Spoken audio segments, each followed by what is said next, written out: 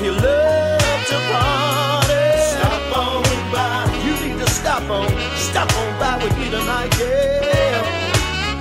If you're tired and stressed from working all week long, it's Friday night, it's Friday night, and you wanna get your party on. I know this place. I know this place where you can really unwind. Don't cost a fortune. And it don't cost a fortune to have a real good time. Yeah. Said it's Friday.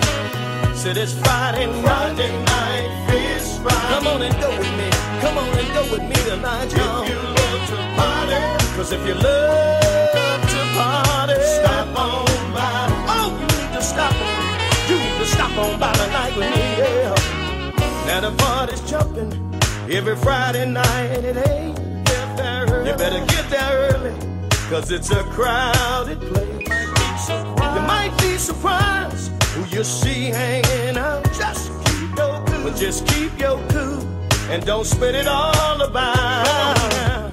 Bring your bottle, leave your work week behind. Time to get down, time to get down, cause it's a party, party time. The place is packed, place is packed from wall to wall.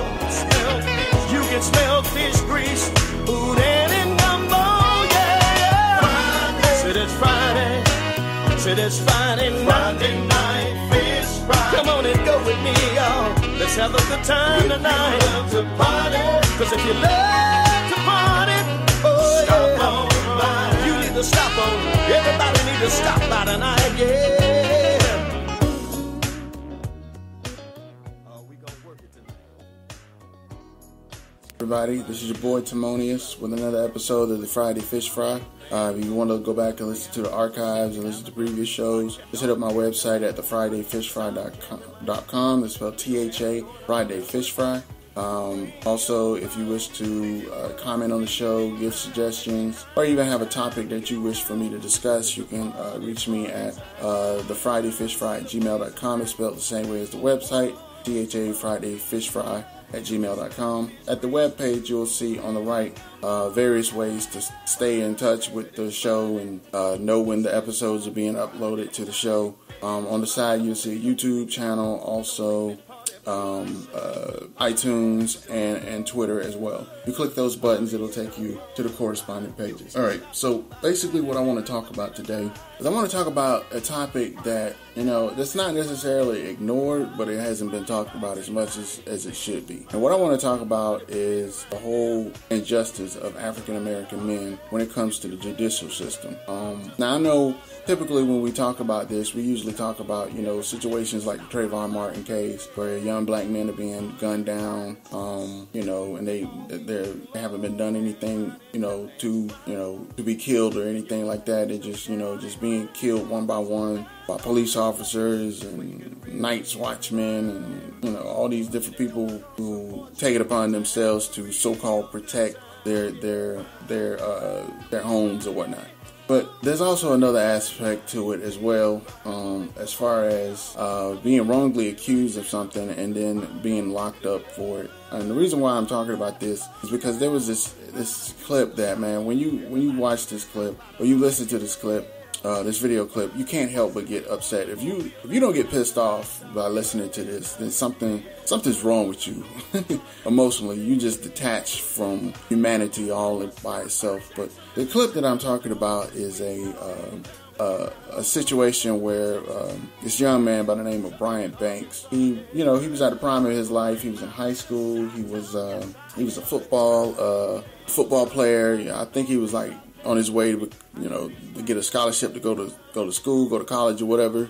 And uh, he he uh, he apparently had this female that he was you know he was feeling while he was in high school. And uh, one day while they were in school, they decided to kind of slip away, and, and I I think they went off to like some secluded area on the school campus or whatever, and they started kissing. And after they finished making out or whatever, they just went on back to school, went back to class, and went on about the day or whatever until you know he ended up coming. He he was walking out of the classroom, and he while he was walking out of the classroom, he walked by the counselor's office, and he saw the same girl that he was kissing, she was walking out of the um, he was walking out of the counselor's office with police officers crying. And you know, he was like, "What the fuck? Is, what's up with her? I wonder what's going on with her or whatever." And then, without any question, they just automatically locked that dude up. I mean, they, they, they handcuffed him and, and they they sent him off to get booked. And unfortunately, this dude spent, I think it was like 10 years, 10 or 11 years in prison because this, this female said that, that she, she was raped by this dude. And, you know, it's, it's not so much about the rape because I know a lot of a lot of people they just be like, oh, that's all these females do. They get with these athletes and they want to they want to you know they want to claim that they're being raped and this and that and the other, which that is that is that is atrocious in itself. I mean, but the thing that really gets me is is how the judicial system didn't even give two shits and a fuck about trying to figure out whether or not if the accusations were true or not. And when you listen to this clip, you can tell that there was a blatant disregard for this man's rights. And I want to go ahead and play this clip so you can listen to it. Uh, be forewarned, when you listen to this clip, it's, it's going to piss you off. I mean, it, it's really going to make you mad. But um, I'm to go ahead and play uh, the, the clip that I, I saw. So here it is. Tonight, a 26 year old who once had a full scholarship to USC and dreams of the NFL is fighting to clear his name. His football dreams all ended inside a small jail cell, convicted of raping a classmate when he was just 16. Tonight, CBS 2's Randy Paige reveals disturbing new evidence, which has some legal experts wondering if the rape ever happened at all. For Brian Banks, this beach offers more than a wave of childhood memories. Uh, I live not too far from here. It is also a brief diversion from his life as a registered sex offender. I'm still aware of, of how far I still have to go, you know, towards getting my life back. He's talking about the life he had at 16. Long Beach Poly says they have it! A star middle linebacker at Long Beach Polytechnic High School with a full ride scholarship waiting for him at USC. I felt like I was on top of the world. Then came the fall. It's almost hard to, to put in words of how one day could turn so fast. In a recent court filing, Banks says it was just before lunchtime.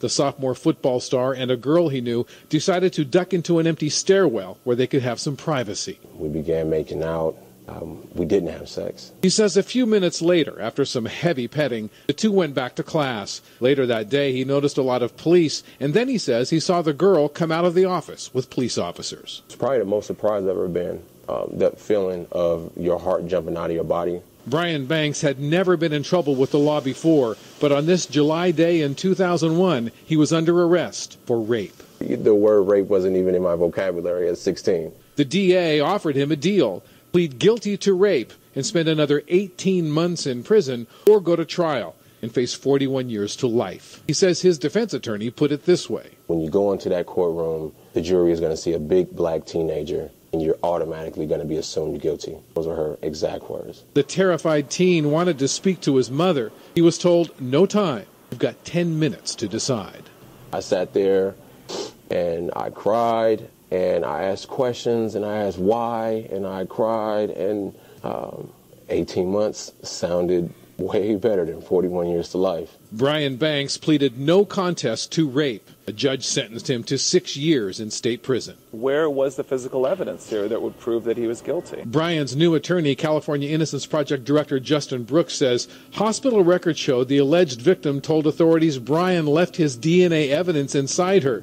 Yet, according to lab results, not a single molecule of his DNA was recovered from the victim or her clothing. So, Brian's story is the only one that makes sense. As it turns out, Brian Banks isn't the only one saying he is innocent. Did uh, he force you to have intercourse or anything like that? No. His alleged victim was caught on tape saying he's innocent too. Did he rape you? No. Last year, nine years after his conviction, Brian says he received a friend request on Facebook from the girl who accused him of the violent rape. I remember closing the laptop just like real quick and just like like thinking like what did I just see? Brian Banks says he asked his accuser to meet him at a private investigator's office to tell her version of what happened that day, and to his astonishment, she showed up. Did uh, he force you to have intercourse or anything like that? No. She said at 15 and 16 years old, the two were young, inexperienced, and curious. So it's just like a petting thing. You guys are kissing and making out pretty heavily. Yeah. Throughout the interview, she says the rape never happened. Did he rape you? No, he did not rape me. Did he kidnap you? No. If she is telling the truth here, she could stand to lose, by her own words, a lot of money. The actual last settlement was 1.5 million. She's talking about the $1.5 million she says the Long Beach Unified School District paid after her mother sued the district for lack of security at the time of the alleged rape. I mean, I will go through with helping you, but it's like at the same time, all that money they gave us, I mean, gave me, I don't want to have to pay it back all that because that will take a long time. We were unable to locate the whereabouts of Brian Banks' accuser. Randy Paige with CBS 2 News. Anybody home? But we did track her down by telephone, and she told us she was raped and that she lied in this interview because she claims Brian Banks offered her a $10,000 bribe. Banks says this latest accusation doesn't make sense, that he has a dollar and some change left to his name. The video is disgusting. It, it's it's it gives you goosebumps to see someone who took took someone's life over a lie. The district attorney's office is declining an on camera interview, saying its policy is to not make any comments on cases that are under review. But a former deputy district attorney is willing to offer his assessment of the case against Brian Banks. I wouldn't have filed a charge. I would have rejected it. Steve Meister is a former LA County sex crimes prosecutor who worked in the same office that prosecuted Brian Banks. To me, it goes back to the DNA evidence and her inconsistent statements about what happened. DA never should have filed this case, and they should drop it now. For Brian Banks, life as a sex offender is like living in a cell made of glass. You can see the world outside, but it's always just out of reach. The idea that people see me as something that I'm not, you know. Uh, I just want this to be over, you know. When you were 16, you knew what your dreams were. You had a free ride at USC, you had a possible pro career ahead of you. What are your dreams today? To be free. In Long Beach, Randy Paige, CBS 2 News. As a result of the new information, the California Innocence Project has filed a petition to try and exonerate Brian, and they're due in court next month. As for the Long Beach Unified School District, where this all happened, no one, not even the superintendent, would go on camera to talk about the case. So yeah, man, as you can see, this brother has lost his life. I mean, he.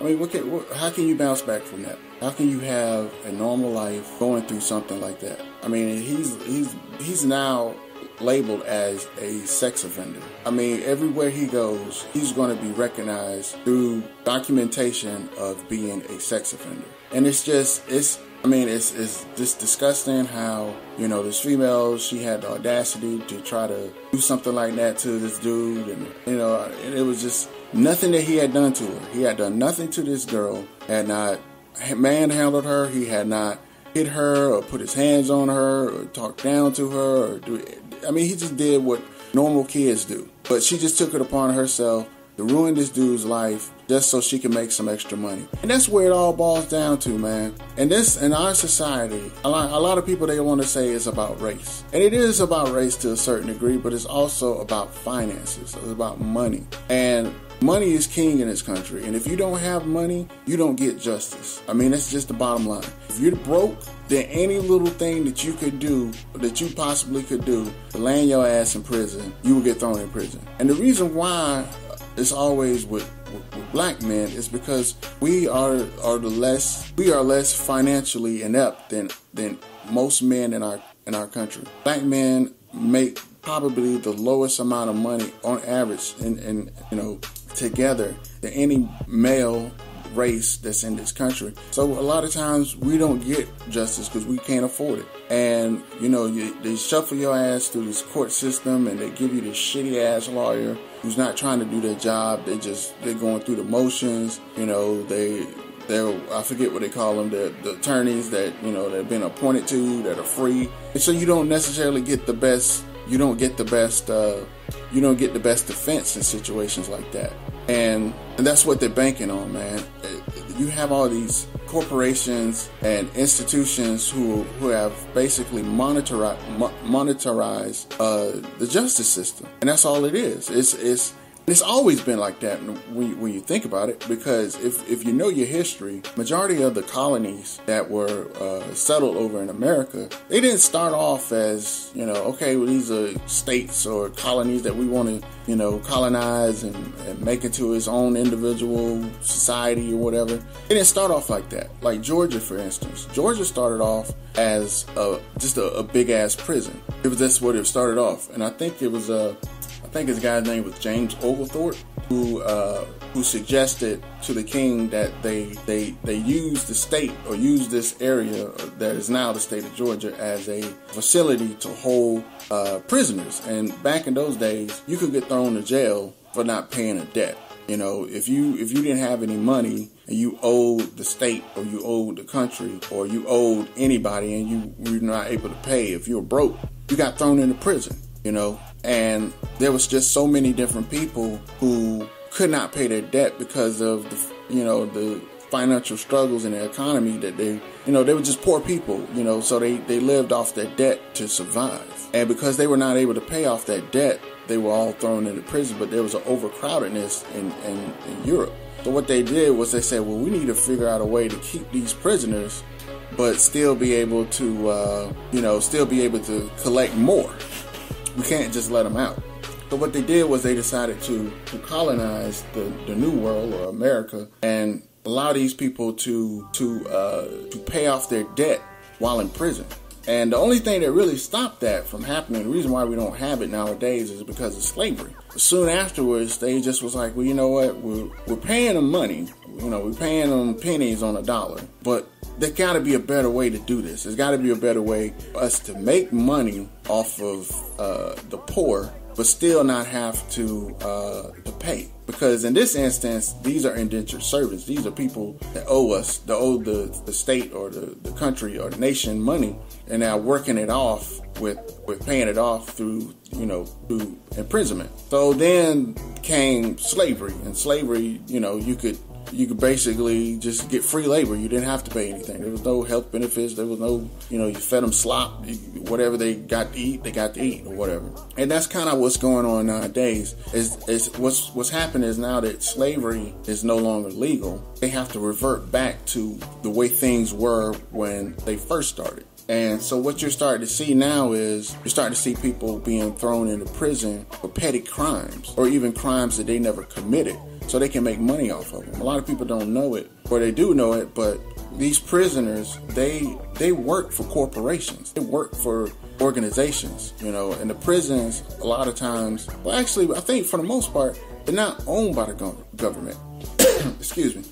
A lot of people have a misconception that these prisons are being ran by government facilities. These are not government facilities. These are are private institutions that businesses own and they're making money off of these institutions. And the only way for them to make money is if they have a prison full of workers. These are their workers. They don't see them as inmates. They don't see them as people that they're trying to correct or make, you know, into better people so they can live into our society. They're, they're using them to try to to make a profit. And a lot of these prison inmates, they work and they get paid I think like like 25 cent uh, uh, per hour. And if you're lucky, if you're the head manager or or you know you're the team leader or whatever, you may be able to get like 75 cent or a dollar per hour. And I know like that shit sounds crazy to some people that somebody would be working for 25 cents or 50 cents per per hour, but it's it's happening in this country right now. And the thing about it is, when you talk about this with people, a lot of times people just turn a deaf, a deaf ear because you're talking about criminals, and that goes back a little bit back to to uh, to black people, black men as well.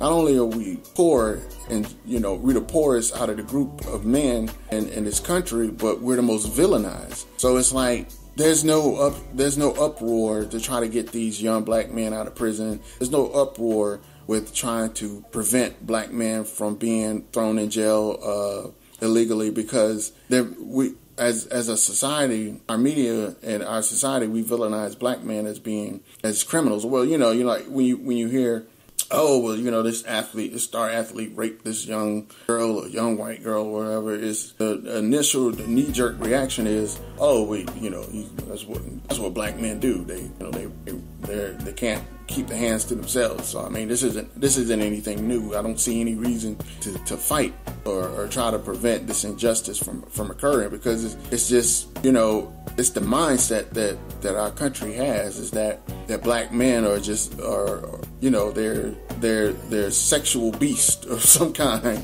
that we have no ability to control ourselves. A lot of people don't know a lot of our law not a lot of our laws but some of our laws are have have been created because of that. Um, like the whole aspect of, of uh, illegal marijuana and, and illegal cocaine. A lot of people think that oh, the country they they made cocaine and marijuana illegal because it you know it destroys the fabric of our society. That's the bullshit that they tell you. But what they don't tell you is that the reason why marijuana and cocaine are illegal is because they had a fear during that time of African American men getting so hyped up off the drug that they were not able to control themselves and they were going to rape white women. But see, back in the day, uh, like in the early beginning stages of our country, black men they used to use cocaine uh, men that used to work on the docks like in new york. They used to work very late hours and a lot of times uh, you know you get fatigued and you get real tired and what they did was a lot of these people they use cocaine as sort of like a,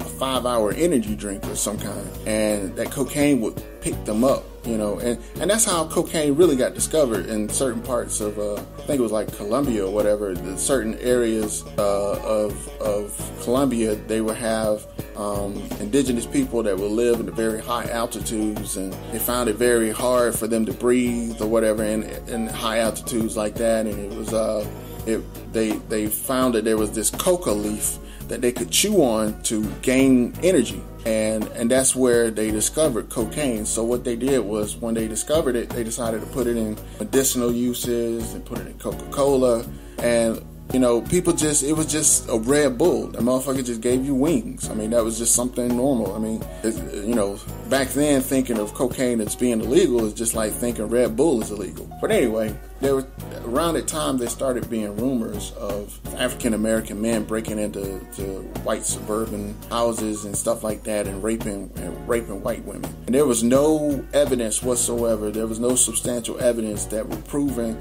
that this was the case, that this was actually going on. Even to this day, there's no evidence that shows that this was actually the case. That there's there was an incident in this area with this woman and this man or whatever.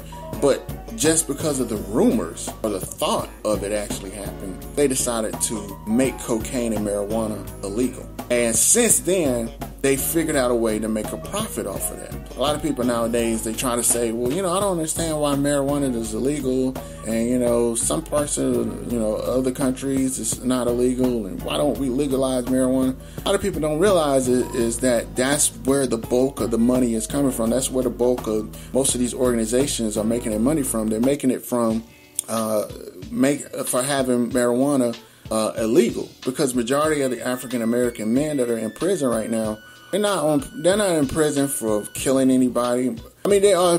Don't get me wrong. There are black men that are in prison for killing people, but they're not in prison because most of them are in prison because of possession, possession of a narcotic, and that's how they get them. They get them for selling drugs or having possession of marijuana or some type of illegal substance. And so if you not if you say well we're going to legalize it so you can possess it then that takes away their workers. You basically are releasing their workers and you're not they're not going to be able to make money off of these these people. Because like i said they they have companies that that make uh, all different types of products and, and stuff like that. And majority of the pr- productivity that we we now see in our in our organizations in our society, I mean, it comes from prisons. A lot of people don't realize all the different things that we have and that we use on our day to day basis. Is it comes from prison workers, from people making these products in prison. Like for instance, Bob Barker. A lot of people don't know it, but Bob Barker, the the guy who was the Price is Right host or whatever he was a he was a, head or he was like a, a I don't know if he was a major shareholder. I think he was a shareholder of this furniture company that used to make furniture from the prison prison mates that made him. And he used to, you know, he used to, you know, be a shareholder. I think he's still alive. but he, yeah, he's basically a shareholder of that that furniture company that you know these prison inmates they they make that furniture and they're making money off of it. So that's the reason why marijuana is not legal is because if you did that, you you're taking money out of their pocket. You you're basically putting these corporations in a position where they would have to actually hire people to work, actually American citizens to work. And the thing that's so fucked up is a lot of these people they don't care enough to want to fight this, but they don't realize that that's where our middle class jobs are going. And not just people, you know, usually when you talk about loss of factories and moving over to different countries and stuff. A lot of times people think about third world countries getting these these factory jobs and stuff like that and making it hard for average red-blooded American to be able to work. But a lot of these jobs are going not overseas, they're going to prisons. These prisoners are making these products. These prisoners are getting paid 25 cent on a, you know, per hour or whatever. And you know, these are the jobs that, you know, people used to be able to make a decent living with, but they're not able to do it anymore because they're going to prisons. And if American people, uh, the, the, American population, if they were smart enough, they would fight this. They would fight and say, hey, look, it's, it's, it's time out for this illegal marijuana stuff because it's stupid. It doesn't make any sense. I mean, it's, it, it doesn't bring, it doesn't add any, any justice to our society. It doesn't make our society any better or any worse if marijuana was uh, legal. I mean, you have more deaths in America due to alcohol than than marijuana. And a lot of times, what they'll do is they'll try to say, "Well, it's a gateway drug." What, what the fuck is alcohol? I mean, I don't know anybody who just stops at alcohol. When people drink alcohol, they're heavy drinkers. They usually do alcohol. They pop pills. They, they snort coke. They do all different types of things besides alcohol. Any substance that's not natural that causes a certain euphoria, euphoria is a gateway drug. So I mean people just don't stop at that. That's how drugs work. When people start using drugs, they get a, an, initial high or an initial satisfaction, and then eventually they develop a tolerance for it. And so then they want to move on to something else. So in that instance, if that's what gateway dr- drugs are, cigarettes are a gateway drug, alcohol is a gateway drug. I mean, just any type of substance, caffeine could be considered a, a, a gateway drug because you know if you consume a large amount of caffeine, you know you become you become desensitized to it, so it doesn't perk you up as much as it would somebody that doesn't drink or take caffeine. But and, and, a lot of people are starting to become more wise about that. A lot of people are starting to realize that this is the whole law with marijuana is bullshit. And one of the uh, actually, you know, I found an interesting clip also that was dealing with this topic as well. Penn, uh, the guy from uh, Penn and Teller, uh, the magician. Um, he he actually I think he has a podcast. I think he has a show that he talks about different you know issues and stuff like that. But uh, he he actually brought up some very good, interesting um, points about the whole hypocrisy of the you know having marijuana be illegal. And I have a clip of that also. I'm just go ahead and play that real quickly. Hold on. This is Penn's Sunday school. We know our president has said in his own book, Dreams from My Father, 1995, before entering politics, he admitted that he'd used marijuana and maybe a little blow. Maybe a it's little blow. Maybe a little blow, which, as you know, is crazy talk. Maybe a little blow is what someone who uses marijuana every weekend says. if you used it once, you went, man, I used cocaine once, it was crazy. But if you use it every weekend, you go, maybe a little blow. it's, that's such an odd, casual way to say, uh, yeah, maybe a little. Now, he has not left this to states' rights. As you know, uh, medical marijuana, as our good friend Joe Rogan will point out to you anytime, medical marijuana you can get in California. And the feds are coming in to try to stop this. States, people, states' yeah. rights don't mean jack shit to the Obama administration on anything except uh, except gay marriage. Troubles me about this is, and there's it is not hypocrisy because, as everybody knows, hypocrisy doesn't bother me very yeah, you much. You like hypocrisy, and so Obama, and yet you feel this is I think worse. I think it's beyond hypocrisy. I think it's something to do with class. You know, and a lot of people have accused Obama of class warfare, but in the wrong direction. I believe this is Obama chortling with Jimmy Fallon about lower class people. Do we believe, even for a second, anybody believe that if Obama had been busted for marijuana under the laws that he condones, would his life have been better? If Obama had been caught with the marijuana that he says he uses and maybe a little blow, blow, cocaine, blow, Felony this, conviction. this casual attitude toward drugs, a casual attitude toward drugs that makes him really cool on uh, on Jimmy Fallon, makes him the hip president. I'm the cool president. I'm the happy and happiest president. I say weed. I say blow. It's all a big deal. Ha ha ha! Huge laugh from the college students. And if he had been busted under his laws, he would have done hard fucking time.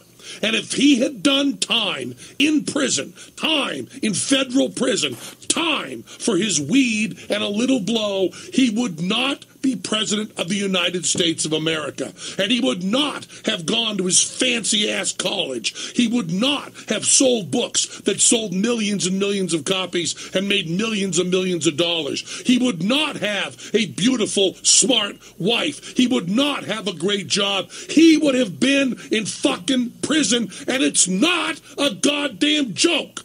People who smoke marijuana must be set free. It is insane to lock people up. Now, people bust me all the time for carrying on about how I've never had a sip of alcohol, never had a puff of marijuana, never done any drugs in my life. They say, why do you always bring that up? Well, maybe in this case it's okay to bring it up, okay? I've never had a puff of marijuana. I've never had maybe a little blow. I've never even had a glass of wine. All right?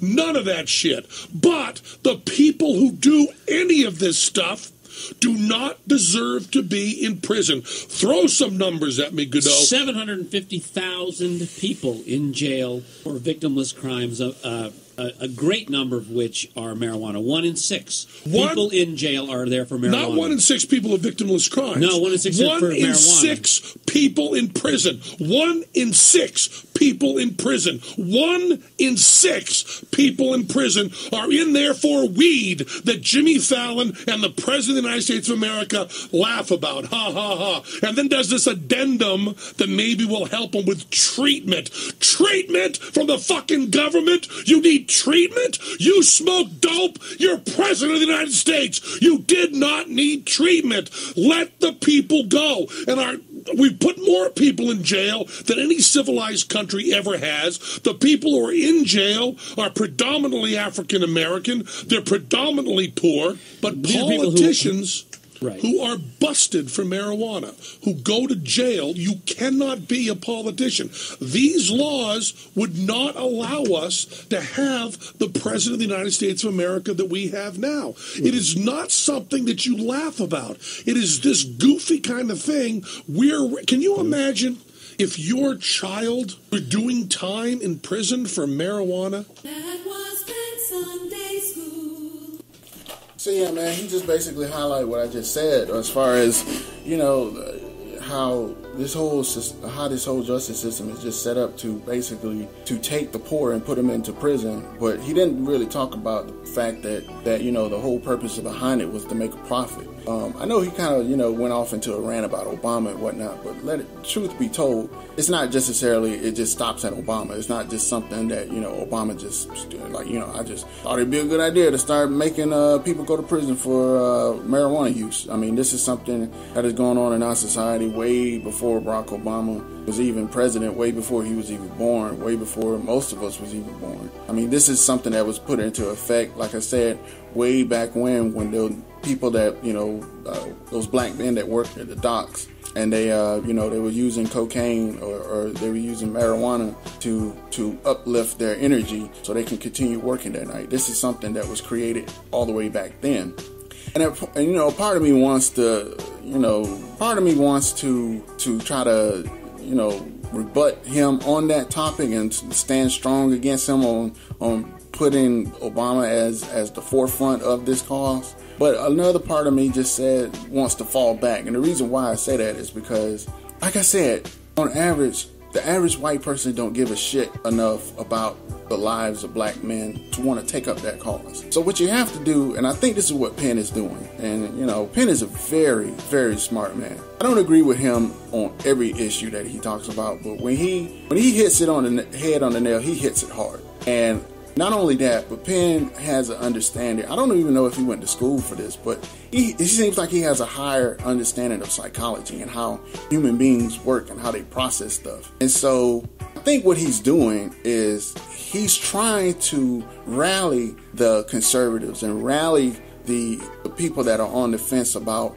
how they feel about Obama to try to take up this cause. So, and the, the way that he's doing it is he's is like, okay, I can't get you passionate about the poor. I can't get you passionate about the lives of blacks. I can't get you passionate about. Uh, uh, I can't get you passionate about uh, legalizing marijuana because you probably, you know, you don't care enough to want to do it. But I can't get you passionate about Obama and how he's messing up this country and how he's hypocritical and how he's a pothead himself and we just need to get rid of this whole stupid law because even our president is the one. You know what I'm saying? It's kind of like he's making it.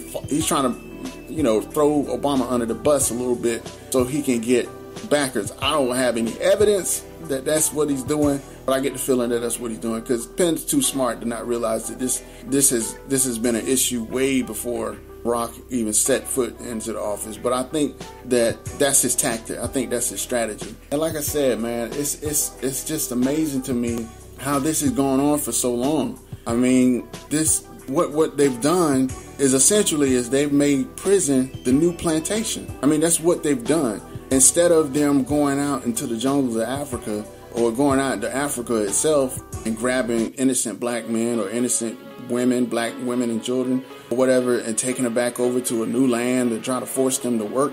What they've done is they've they've got police officers. They you know these are the people that these are the slave catchers. Police officers now become the slave catchers, and any little any little inkling that you could give to give them a reason to arrest you and put you in prison, they're starting to do it.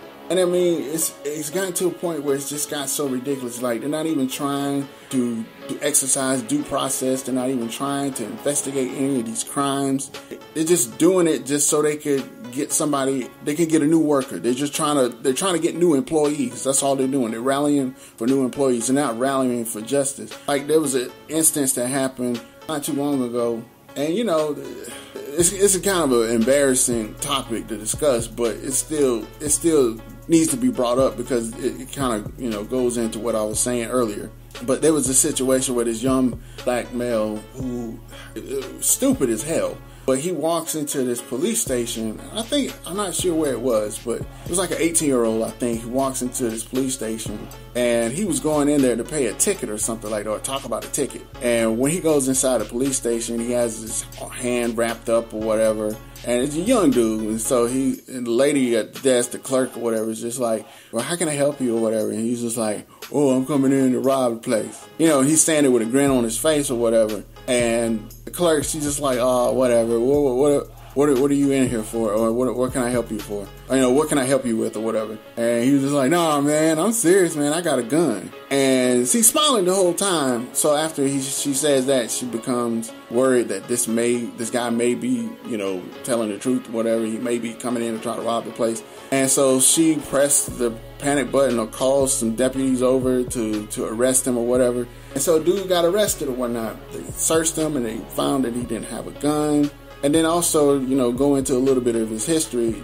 Uh, the kid has has mental issues. He was battling with like schizophrenia and he takes medication and stuff like that. He's just a young dumbass kid that just walks into a police station thinking it would be funny uh, to say something like that because obviously he he's like okay wouldn't it really be dumb if that's what the reason I was in here? And you know, and it's a stupid joke, it's a stupid act. Is he should have known better, regardless of the fact of his medical condition. He should he, he should have been able to realize that this was not a good idea to do it. But but basically, what I'm trying to get at is they are now processing this dude. This dude is in, in, in jail right now. Like they didn't they didn't slap him on the wrist. They didn't just say, okay, well now you got to do community service, or you know now you're gonna stay so so many different days in jail. Now you're gonna have to pay a fine. Now they are trying to prosecute this young man, and they're trying to give him 20 years to life for a fucking joke, for a stupid ass fucking joke.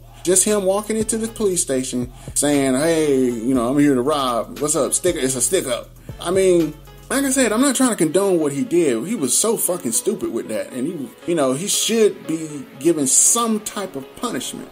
But 20 years to life, and this dude is 18 years old. And that's the thing, man. They they they trying to get these young black men because they young black men they work harder. That's how they're looking at it. They're looking at it uh, from a profit standpoint. They're not looking at it from a justice. So anytime you start hearing about you know these cases where these young black men are being thrown in jail, that's why they're getting thrown in jail. You know, you don't really hear too many cases about older black men or 40 year olds, black males or whatever, being put in these situations like this. It's always young black men because that's what they want. They want the young men so they can work harder, work faster, work longer. And that's what they're doing. They're trying to set this shit up so they can try to make as much money off the poor, poor black people. And it's, it's, it's, it's, it's related to race, but it's more focused on class and money. And that's the problem that we have with this country is that we have become a society where if you don't have a dollar, you don't have justice. And that's so fucked up and it really pisses me off. And we need to we need to find out exactly who are these organizations who are making these making this money off these prisoners. And we need to make a point to boycott these businesses. But because nobody talks about it, nobody discusses it, it's understood uh, it's an understood uh, knowledge, but it's an implied knowledge that doesn't dis- get discussed. Nobody's trying to make it their business to to to take this this institution down, and it's so easy to take it down because the the thing that's, that is standing on is finances. If you take away its finances, it it will have to fall. They will have to fall back. So basically, that's what I wanted to talk about today. Um, please just just tell me what you think about the show. Give me your input about it. Do you think I'm wrong about you know, this whole aspect of what's going on with our country and as far as young black men and, and profitization of imprisonment and incarceration. Do you have a different perspective? Just hit me up on uh, the website, comments on the, uh, the section that's below the actual podcast. You can, actually, it may be at the top. Anyway, if you look somewhere around the vicinity of the show, of the actual episode, you will see a comment section. You click it give your comments. If you don't want to go about that way, you would rather email me, email me at thafridayfishfry at gmail.com. I want to hear back from you guys. I want to hear what you got to say. And, you know, if you have any input that you wish to discuss, I will gladly, you know, uh, uh, read out your comment on air so other people that's listening to the show can hear what you have to say. Um, but yeah, this is basically the uh, today's show. Follow your boy on Twitter at THA underscore FRI underscore fish fry. And uh, I will holler at you motherfuckers later. Peace. Oh,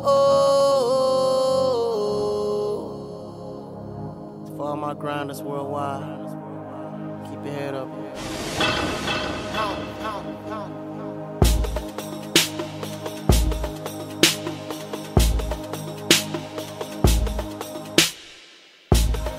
just a thug on the other side of the law. Raised in the hood, never thought I'd make it this far. I went from standing on the block, dealing, toting my Glock, weighing product on a triple beam. I even got hassled a lot, mainly by crooked cops. Life wasn't easy as it seemed. Trying to make it in the city where we stay on the grind, stay on the grind, stay on the Trying to make it in the city. Where we stay on the grind, stay on the grind, stay on the Trying to make it in the city. Where we stay on the grind, stay on the grind, stay on the Trying to make it in the city. Where we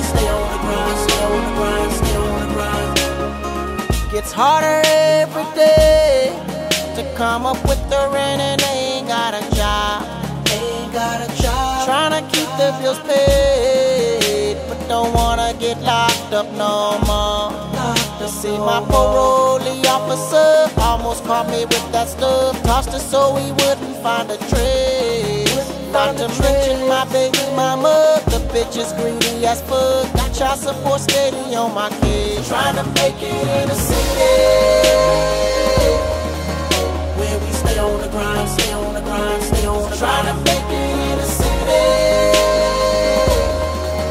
Where we stay on the grind, stay on the grind, stay on the grind. Trying to make it in the city. Where we stay on the grind, stay on the grind, stay on the grind.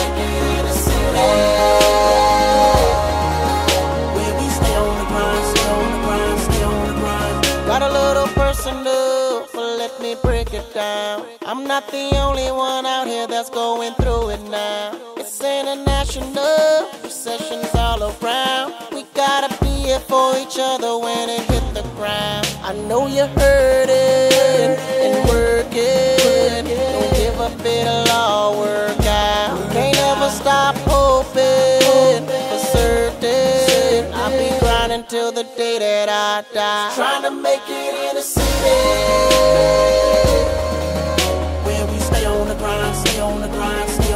gotta the we stay on the grind, stay on the grind, stay on the grind.